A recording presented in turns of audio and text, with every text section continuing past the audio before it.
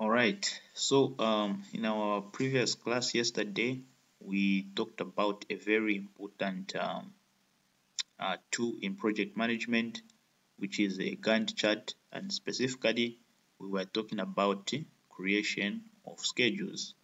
And we discussed how this tool is used to display uh, the activities and how these activities are sequencing with each other and also the duration and uh, all in all give us just a summary of uh, the project and how the project will be flowing. Now today we are going to continue under our main theme of project time management and we are going to look at the last topic which simply deals with the project time management techniques. So the techniques that we are going to look at are simply uh, three. The first one being critical path method, the second one being critical chain scheduling, and then the last one being PERT, which is an abbreviation for project evaluation review technique. Alright, so we can begin with our first technique, which is the critical path method. So under the critical path method, we first need to understand what do we mean by critical path method which is also abbreviated as CPM. So CPM is a network diagramming technique used to predict the total project duration. Now, if you have been uh, following, you, are, you can realize that all the steps that we looked at since the first uh, uh, stage was just all about trying to come up with uh, a pro the project duration or an estimation of the total project duration. If you look at, for example, the the schedule, okay, the schedule shows how you know various activities are connected to each other and how they are flowing and their uh, individual duration. But all in all, it helps us so that we can be able to have a clear picture of the total duration of a given project okay? So under um, critical path method now we begin to look i mean techniques we begin to look at um, sorry under critical path which is among the the time management techniques under project management we begin to look at how we can be able to better estimate the total project duration given all the information that we have talked about under uh, creating of a schedule. So uh, the critical path method utilizes the sequencing diagrams. Of course, if you remember, we talked about two uh, different diagrams. We talked about the first one, which was the activity on arrow, and then we talked about the second one, which was the precedence diagramming method. So now the critical path method utilizes both diagram and we can will be able to see how you can be able to uh, project the duration of time using critical path method technique on both of these uh, different diagrams. So a critical under critical path method there is what is known as a critical path which is the whole central thing of this method because under this method we simply just try to find a critical path under project implementation and then we begin to use that critical path in order to understand or make estimations or an estimate of the total project duration. So you might wonder what is a critical path. So a critical path for a project is simply a series okay of activities that determines the earliest time by which the project can be completed. All right so it is also known as slack or float. So this is more like a sequence of only the uh, activities that are vital within a project that will help us determine the time or the earliest time by which this given project that we want to implement is more likely to be completed. Alright, it is also known as finding the slack or the float of a given uh, project. So as we scroll down, uh, as you can see on our screen there, we have got an example of the first uh, method under sequencing, okay, or diagramming method under sequencing of activities, which is the activity on arrow diagram.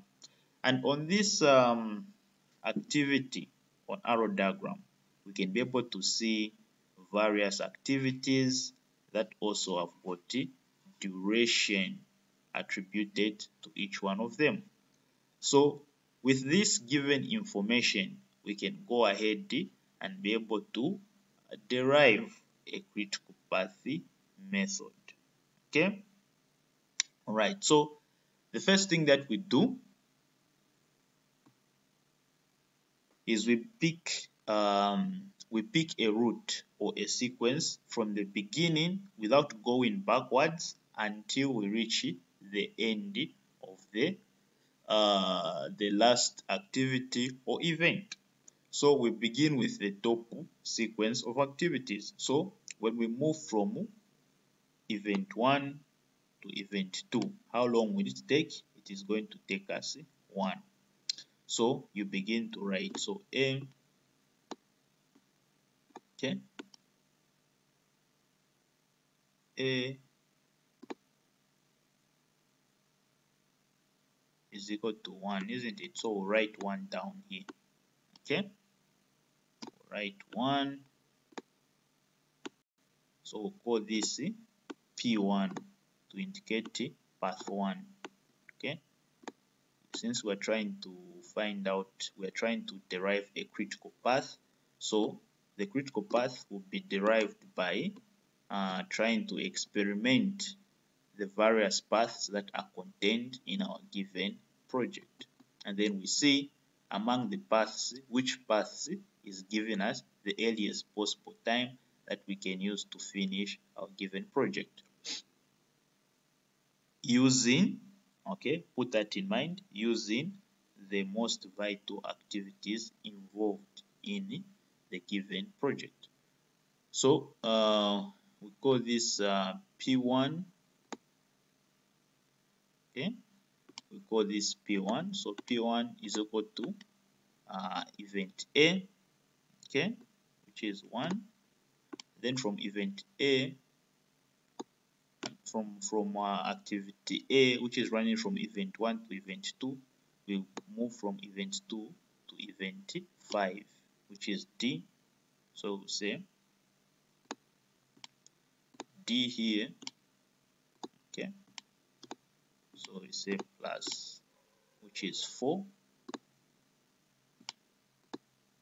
and then from D we'll go to H which is 5 to 6 here. And then we have a duration of 6 down here. So we say plus 6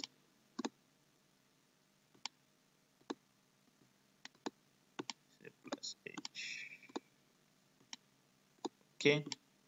Then from here we'll move to event 8 which will be j. So we say plus j. Okay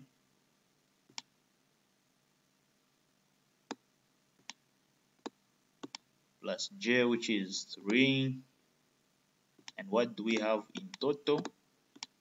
We have 1 plus 4 which is 5 plus 6 which is 11 plus um, 3 which is 14. Alright, so we are done with the first path and the, the estimated um, the estimated duration for this given activity is 14. Now, this is not the only path that we can be able to find in this given project. Therefore, we must now go back to the drawing board again and ensure that we test out all the paths that are involved in this given project.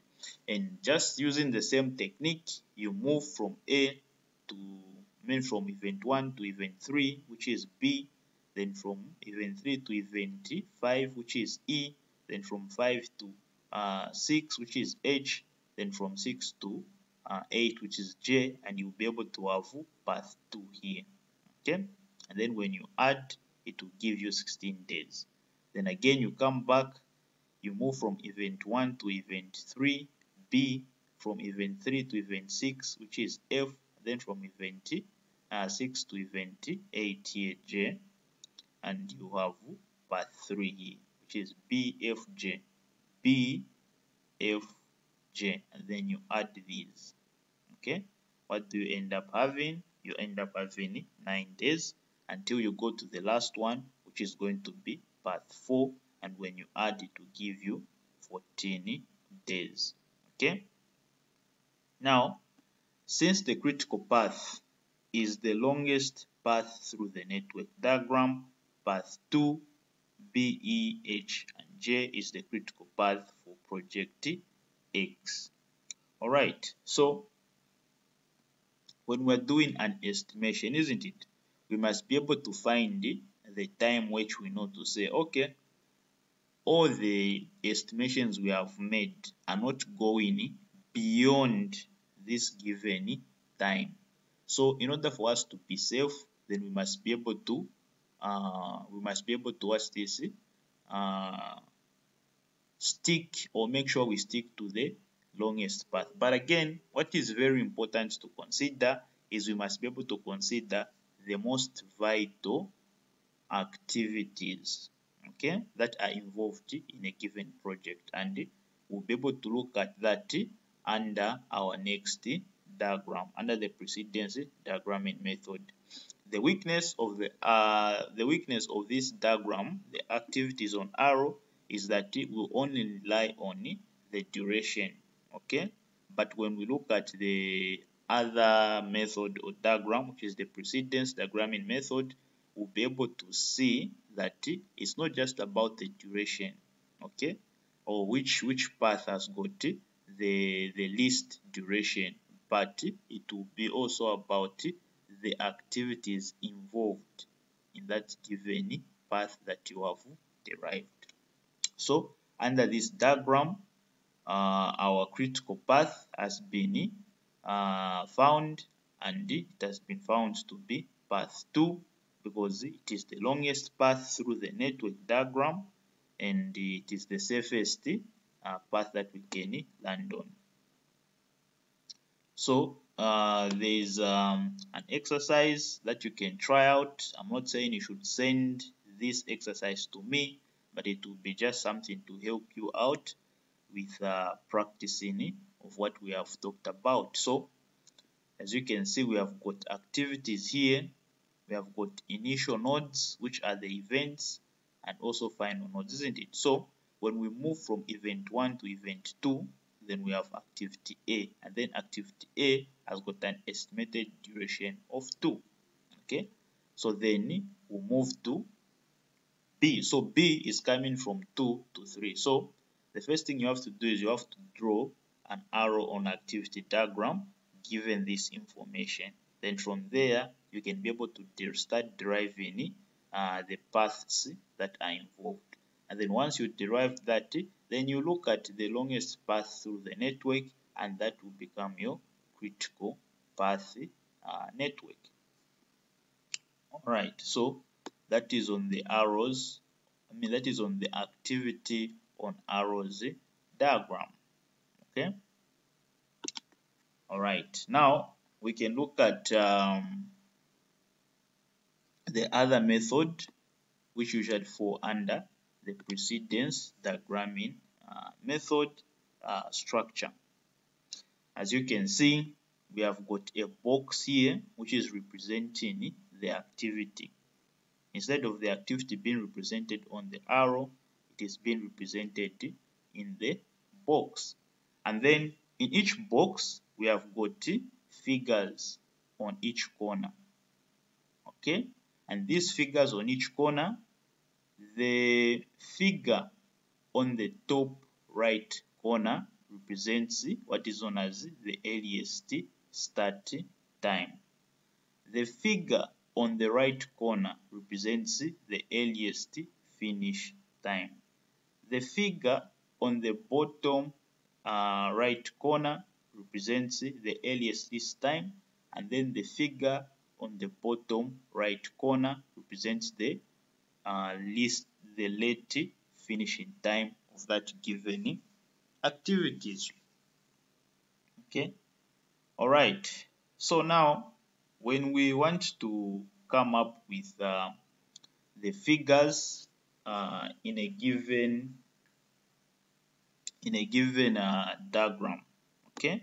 You'll be given for example uh, figures here uh, for the start time and then also the duration okay in each box okay?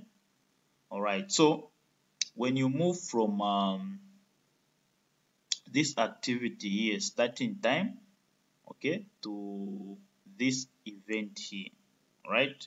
We expect that at the point where this event finished that's the point where this event begins so if you look at this one so the earliest finishing time is where?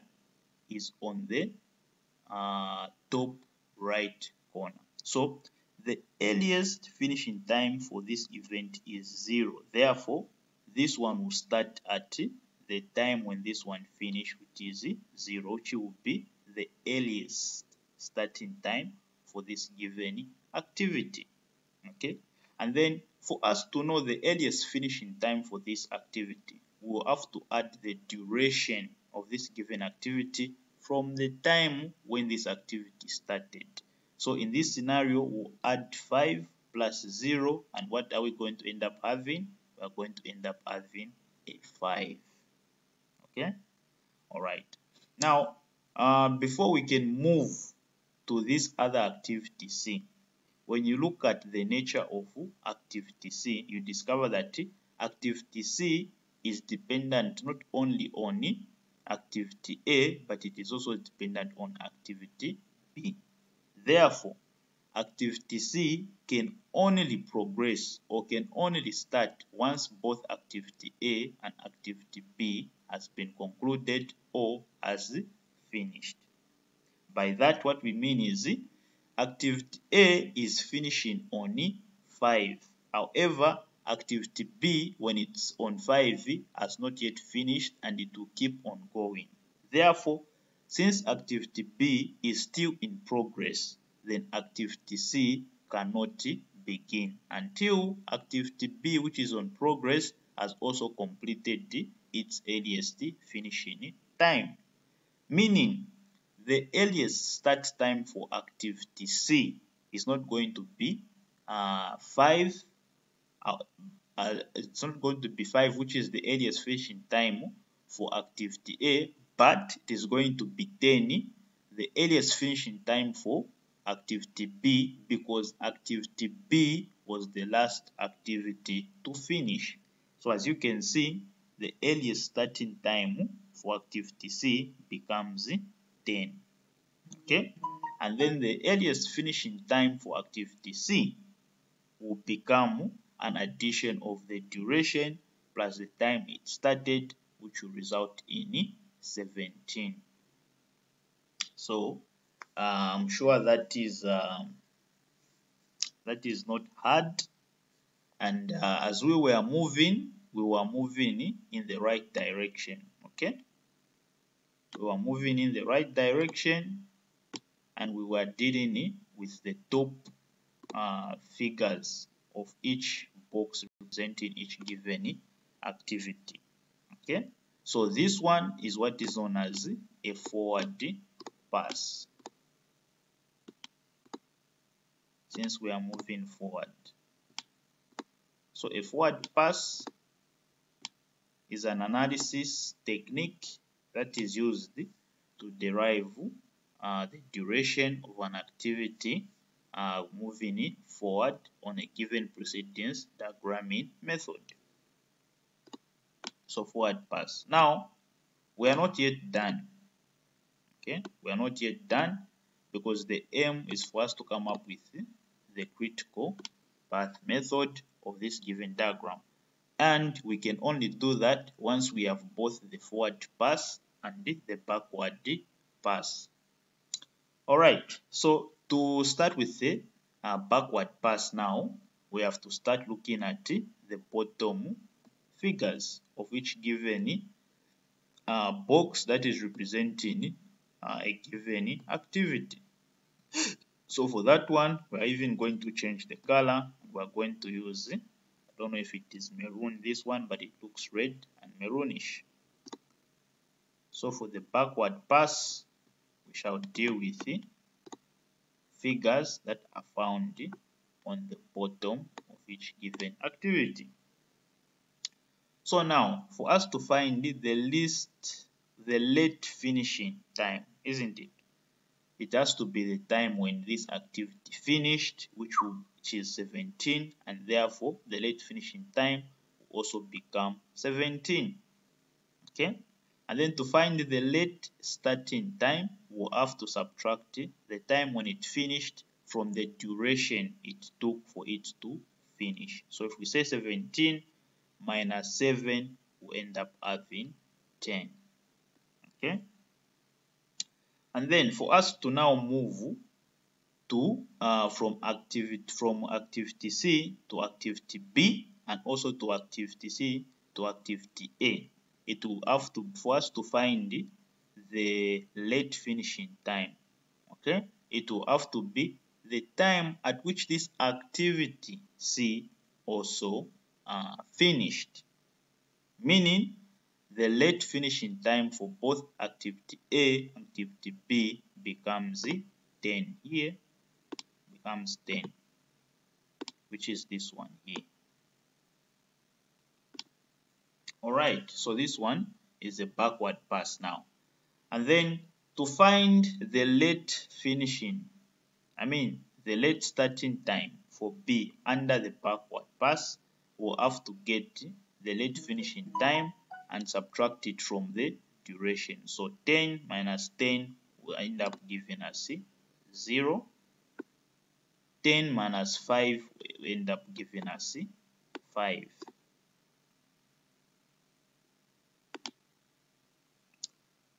Alright, then as we move now to our starting event, instead of getting the late finishing time of 5, we are going to get the late finishing time of 0. Why? Because this activity is now dependent on these two activities, isn't it? And then since we are under the backward pass, instead of getting the time or the maximum time will get the minimum time to reach this event and therefore get a zero. Okay? And that's how we derive our backward pass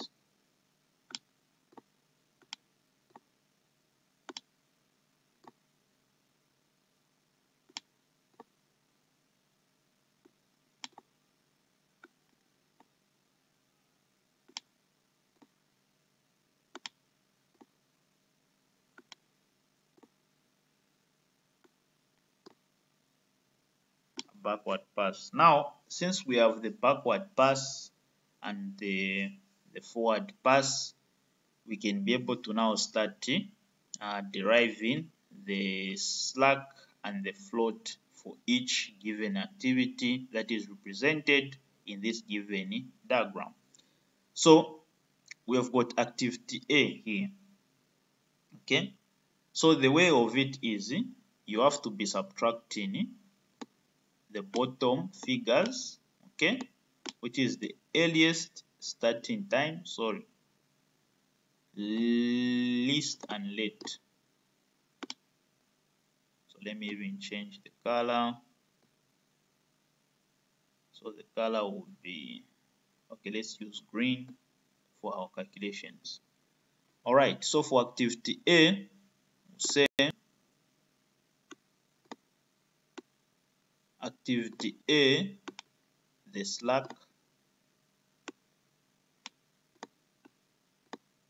value.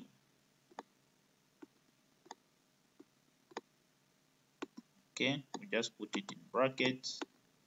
would be equal to the least okay the late start time ls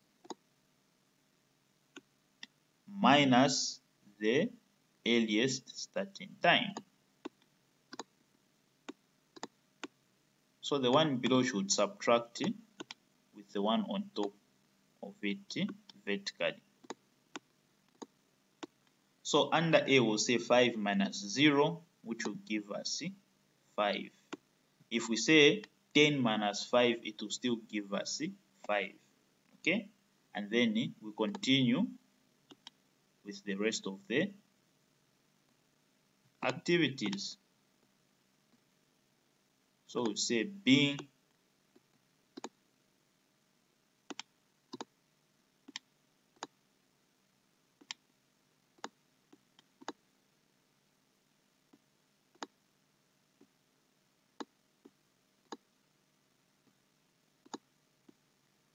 okay b here say 0 minus 0 which will be equal to 0 meaning even if we subtract these other ones they'll still give us 0 so 10 minus 10 will still equal to 0 meaning the slack value for A is 5 but the slack value for B is 0 okay? Then we'll go on activity C. Activity C.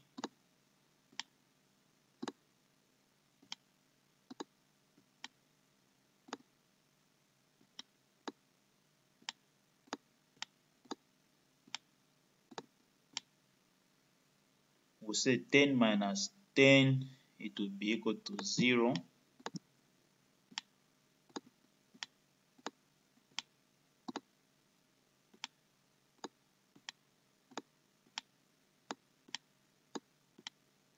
Be equal to 0. Okay. So the slack value for C becomes 0. Now, how do you know that this activity is vital for this given project? So you can tell by looking at the slack value and activities that have got a slack value of 0 are activities that should not be tampered with. Why? Because this activity does not have any spare time for it to lag behind. If you look at activity A which, has, which is having 5, it means activity A can even start 5, I don't know if these the durations are in minutes or in hours. If they are in hours, we can say it can start 5 hours late and it will still not affect the duration of the given project. Why? Because this one is moving in tandem with activity B in order for it to start activity C. And this one is only taking half of the time as this one is going to take. Alright? Okay, so the most important and vital activities that should not be disturbed in order to disturb the total duration of a given project are those activities that have a slack value of 0 and it is those uh, activities that end up forming the critical path for the given project. So in this uh, given project that was being implemented, represented by these activities, we have activity C here, and then we also have activity B here, and then also the starting activity here. Meaning the critical path is moving like this or vice versa.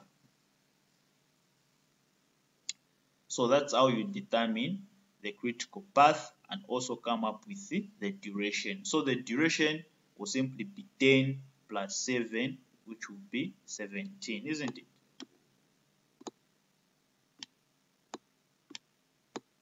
So this is the estimated duration for this given uh, activity using the critical path method technique or analysis.